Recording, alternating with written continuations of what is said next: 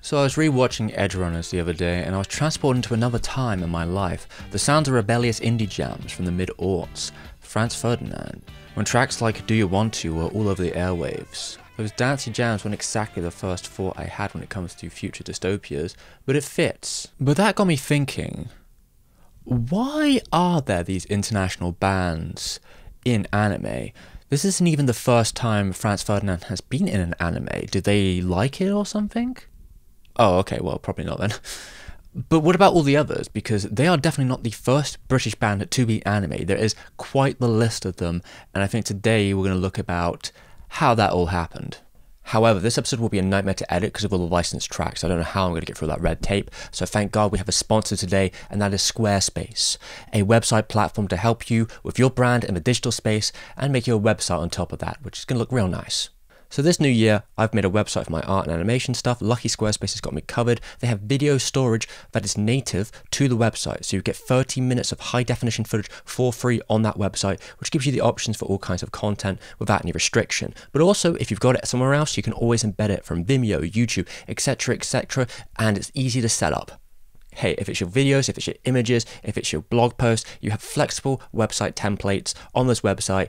Very easy to do and you've got a lot of customability that comes with it, which is going to make it look professional regardless of what you're trying to make. So you can get a free trial at Squarespace today, and when you're ready to launch, you can get 10% off your first website or domain with the link www.squarespace.com slash STEVEM. Thank you very much, Squarespace. Let's get back to the video.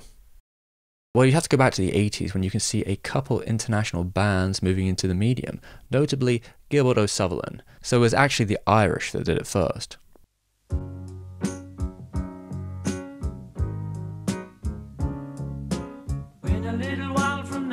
But according to the director, it wasn't a popular choice for Kitty Records, who were trying to cross promote the song, so his tracks were only used in a couple episodes before they were ripped out.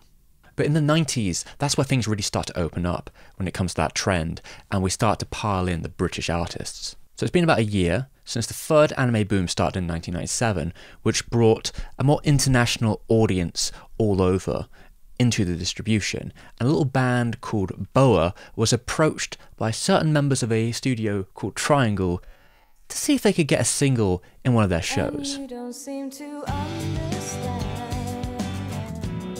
And it was the perfect match with the great visuals that set the tone. It found the band a whole entire new audience around the world. Boa were on Japanese label Polystar, who were able to get them in contact with Yoshitoshi Abe, and I guess the rest is history now, as they explain here. Um, I wish I had a really interesting story about this, but I was in Japan when um, the A&R guy said that he knew that somebody who was working on an anime had heard Duvet and really liked it and wanted to include it. And we were like, great. And so it came from there and it was all kind of fresh and exciting and bang. Duvet has happened to reintroduce itself to newer generations again and again and again through the internet. TikTok even bringing the band out to do a remake and a new music video and go on tour and possibly release a whole new album in this decade. And it's not surprising because we're looking at almost 300 million Spotify listens on that platform alone. Not to mention stuff like TikTok, where it's found new fame going beyond the original anime audience entirely into completely different spheres. But even the success of Duvet in the 90s led singer Jasmine to be hired to make two songs for another cyberpunk anime, Armitage 3 Dual Matrix. Okay, we've got a little addendum here, so I've got to pause for a moment. So these tracks are not actually featured on the movie for whatever reason. They ended up only on the CD, although there is a smaller oddity instead I'll give you. So the original theme for the first OVA is called Phantom World. In the English version of the OVA, it was actually released with an English cover by a different artist, though they were still a Japanese woman. But in the sequel, Poly Matrix, the theme is now covered by a British singer, Maureen Davis. So is this just like a cyberpunk thing? Well, maybe it's more likely there because it is technically a Western genre originally, and because of that, there might be a vibe associated with it, which means that English voices just seem right for those kind of openings. But generally, it's actually someone like in the production committee who will make the decision of what's going to be in the opening and ending. It might be a tie-in for one of the other members of the production company if they're a music studio and they've got something to cross-promote. But also, it can be the creators, if that be the director or the producer at the studio, or specific interest in the original creators that might get you, you know, a different artist than you might expect. After all, Japan is the second biggest music market in the world, and it's not unusual for people in Japan to listen to music from all over, and even take influence from it if we're talking about things like city pop. There is this old stereotype called big in Japan, where sometimes aging musicians or musicians that are a little bit more niche can find popularity in Japan, but maybe not in other places, but they end up booming there. Uh, there's some really specific choices in that area. Say, for example, Nolans, who are an Irish band who had the first international Japanese number one in the country, as well as sold almost 12 million plus albums, which is pretty staggering when you look at it in comparison to other artists uh, in Japan. And I'm reminded that when I was growing up, one of my friends told me that his dad, who was in a punk band, actually had a similar event happen to them where they had some international fame in places like Japan and otherwise. Um, and they were planning to go on a big tour because of it. But unfortunately, during that era of time, they were all beyond middle age and had families, you know, free kids and stuff. So it didn't quite work out like it maybe maybe they would have hoped it would have. But still, you know, fun to think about. But when we're talking about taking advantage of that audience buzz and doing cross promotion, you might see the returning Franz Ferdinand with their hit in 2005 or their second LP, Well, Do You Really Want to?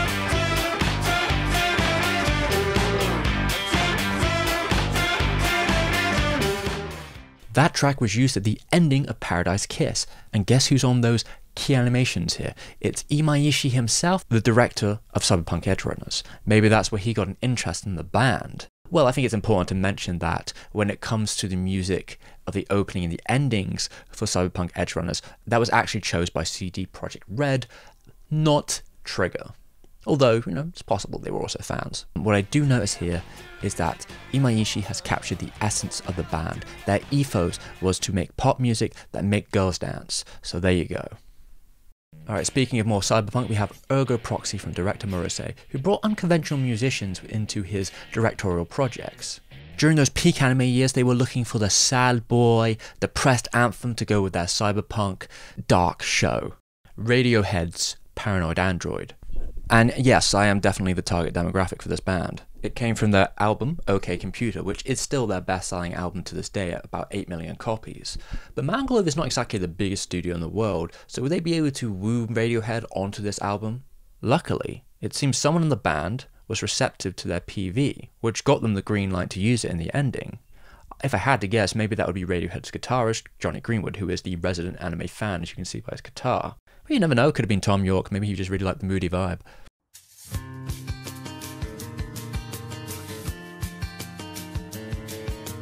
But even if right now in 2006 we're in the DVD boom and everything's going well, what about the future? Is there going to be issues by having these sort of popular tracks within your anime? Well, preservation can be hard for companies if they can't work out deals for re-releases. When Ergo Proxy ended up on streaming, Paranoid Android was removed. Now, there is a question of though, what about physical media? Well, I have heard that at least on the Blu-ray, it has been retained. So, whew, thank God there, right? But is that always going to be the case? I know there are definitely issues with other projects. Say, for example, Evangelion never really paid for its international rights for the song Fly Me to the Moon, which means that it will basically never, ever, ever end up on another international release of the project. Well, there's always the alternative, which might be getting in a famous musician, but to actually make a song specifically for the project. You know, you can make an agreement on that one there. Cue David Sylvian, who was the head of the band Japan for the longest time, but he also did some work with Ryuichi Sakamoto on the soundtrack for Merry Christmas, Mr. Lawrence. Specifically on the song Forbidden Colors. That's a real bop. I did wonder how someone as reclusive as David ended up on the ending theme of the anime Monster, and it seems he has quite the particular answer on his website. I was attracted to Monster's material by the moral dilemma faced by the central character. The calm surface of the music is giving way to a dark undercurrent, signifying the consciousness of the lead protagonist, and the themes of morality, fate, resignation, and free will. So I guess yeah, he he seems to have know the source material more than most of the artists on this list. He is quite the eclectic talent, and his solo career shines brighter than what is seen. I really think most people should check out more of his work. Um, honestly, really fantastic. Okay, so I got another addendum for you. Monster actually had two sets of licensing issues recently. One with streaming websites, and then also with the German Blu-ray. None of these have the sung version of this theme. They only have the ending instrumental. So I guess you know this isn't actually the ideal path after all. But we're not done with Madhouse yet. They've also worked with the opposite side of the spectrum, with people who are the small independent artists looking to get their work to a wider audience, if we talk about something like Gunslinger Girls. This was the Delgados, whose fourth album was on Mantra Recordings, which was a subsidiary of Beggars Banquet Records, who were responsible for their international distribution, and likely were the reason the track ended up on the show entirely. It doesn't seem like the band themselves are that familiar with the source material, calling it some kind of manga thing when asked about it. I think shortly after that album came out, the band did uh, break up, so I guess it didn't do them any massive favours. But I think they're back together again, so that's nice.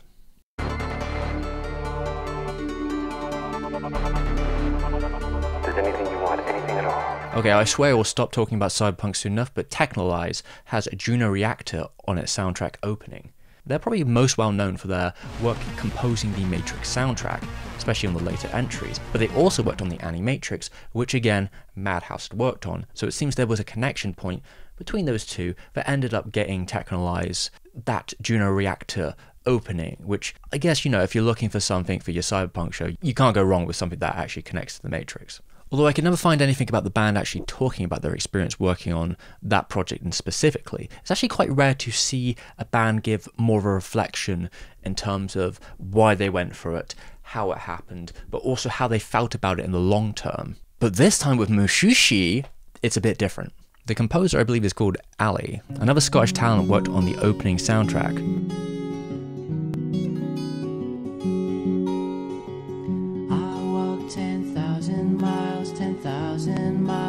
Ally made a Tumblr post about his experience not only getting on Mushishi, but also how he felt about it after so many years, the long term sort of reflection on it. Starting with saying that it was someone in Japan on the animation side that told him a producer or a director had his album and they liked the song and they thought it fitted the vibe and they sought it out. It was as simple as that, I guess. He said yes. But when he was asked if it bothered him that the song had now become commonly known as the Mushishi song, he had this to say it doesn't bother me at all. I love writing music and I want people to hear my songs. And using the songs in this way allowed people to discover my music. Anyone that likes a song can quickly and easily find out who wrote it and what the original title is. My hope is that if they enjoy the song, they'll go and check out any other of my 34 or so songs I've released. And of course, when it comes to copyright issues, as well as the long termness of the channel. Really, the best way of supporting will be Patreon, and I've got to thank my patrons right now. If that be Lenny, Tim J. Richards, Stratogin, Stratos, Chunks, Jay, Foxmolder, OT, Paul, Seamus Mum, Subsofa, Systematic, Karen, Nick, Doji, Peter, Agor, Vic, DTB, and newcomer Van Sam. Also, thank you so much, Lenny, for the footage from the Monster Blu ray to show that licensing kerfuffle. Anyway, let's get back to it all. Love you all. A lot of the songs we've looked at are, are fairly contemporary from when they released, or they're from people who are kind of like workmen or people who are quite still in the field. What about if you want something that's maybe, I don't know, 20 years old or something? Well, that's when we get to talk about Speedgrapher. Look at this one. Girls on Film. What a great song that is. You know, I'd, I'd actually like to, I'd like to listen to it right now. Give me a sec. Take this out and put my DVD player here. How,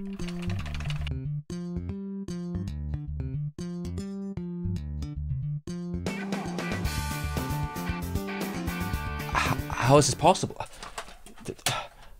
Physical media, you fucked me over. The fuck, man? It's the only reason I bought this shit.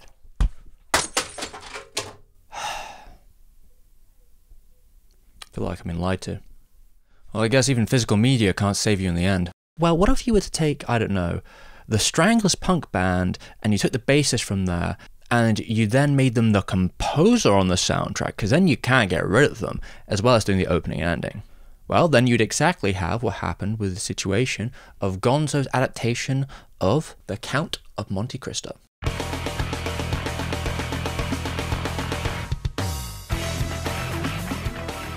Gonzo themselves had kind of an interest in internationalism as they sent their anime all over the world for a satellite deal. And that was until they like got bankrupt a couple years later, at the market crash. That's when all the DVDs also went bust.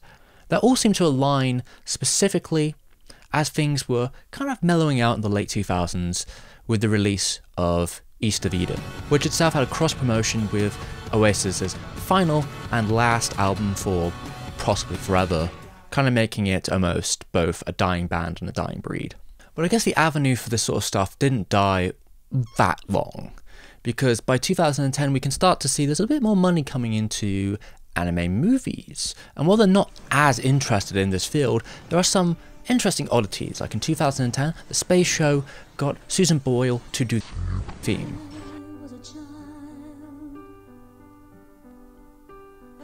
And as the 2010s went on, you can only see those numbers go up. You do start to see some funny things like, I don't know, very specific pop rock from Canada being in One Piece.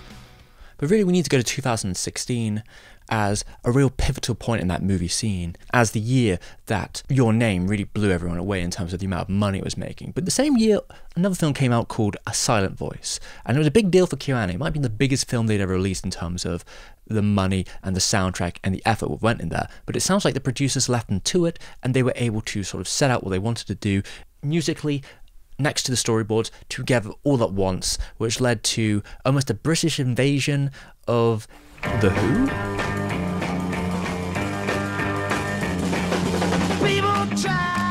Very unorthodox choice for this little opening montage. Though I never really got the impression that movies were as interested as perhaps TV shows were, just because there's the sort of repetition aspect of it. And when it came to the streaming era, a new avenue opened up quite surprisingly and there was a really specific franchise that took the most advantage of that. JoJo's Bizarre Adventure, a series that was really popular in Japan but didn't quite pick up in the uh, English speaking countries until this adaptation. There was one specific thing that they had decided on musically before anything else, and that would be the ending theme. And to me, it was actually quite a surprise when I heard it because I myself are quite the Yes fan.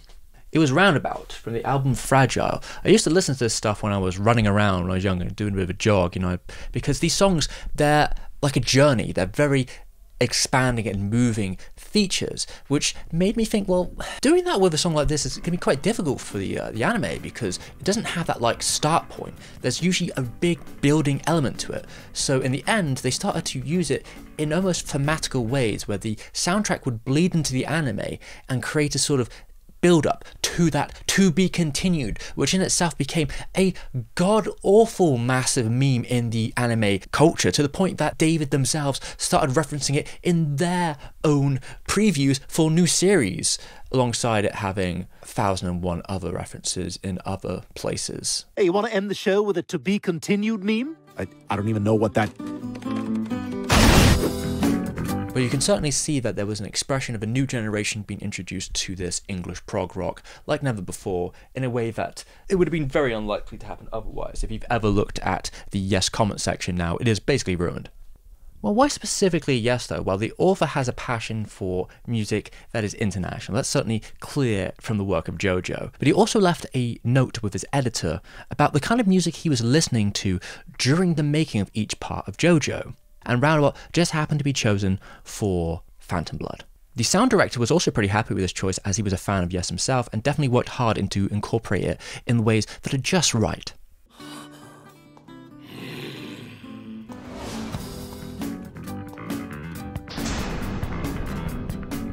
As the JoJo parts kept coming in, we started to see more and more ending themes, but most of them actually weren't from English bands, but they were all international at the very least. Until we get to part 6, which is where Duffy comes in with their ending. Now, part 6 also is very unique in that it happens to take, let's say, the whole story in a roundabout wink as the final episode brings back Roundabout, which was quite a surprise that they do it just for one episode because of the licensing costs. But that might be because they have extra money coming in from Netflix. Yes, JoJo was a pretty big deal on streaming services like Crunchyroll, even got itself international play in things like Adult Swim. But when it came to part six, Netflix bought up the rights exclusively, and now you can only watch it on their service, which led to some controversies in terms of how they were releasing it. But I don't think anyone's going to be complaining about them bringing back such an iconic song for the final fitting finale of those six parts which really shows that you can use these musical cues for more than strictly just a, oh, I know that song. This was actually really playing into the world of JoJo in a way which many other outros and intros didn't quite take advantage of, which is probably what makes it so special and maybe why it appealed to so many fans. But you know, Netflix didn't really stop there. Their investment into anime led to a lot of extra money being thrown into it for ONAs, and that's when we get all the way back to the start with Cyberpunk Edgerunners and its international albums. But yeah, it's not the first, it's not the last, and Netflix has just kept doing this and doing this and doing this, and there are sure many examples, even to the point of like The Great Pretenders, which is literally named after the song which is in the ending. Oh, yes,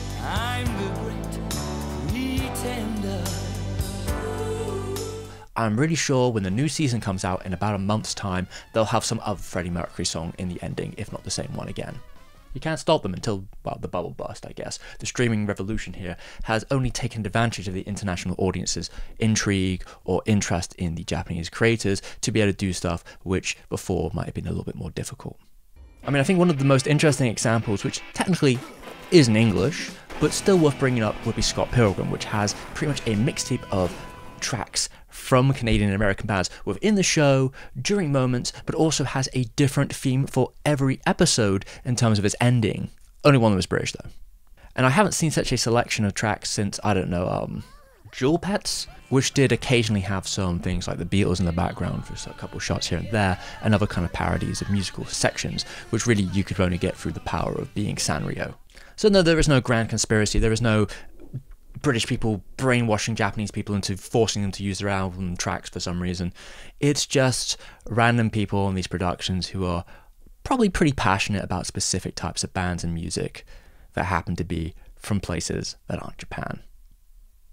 Oh yeah, and I guess there's some money involved too in terms of like these production companies, but you know, mainly about the passion. Mainly let's focus on the passion for now. That, that, that feels better. That feels nicer as an ending. Now, if you excuse me, I'm going to go listen to my pirated superior copy of Speedgrapher to hear the true opening of the show Girls on Film. I'll catch you next time.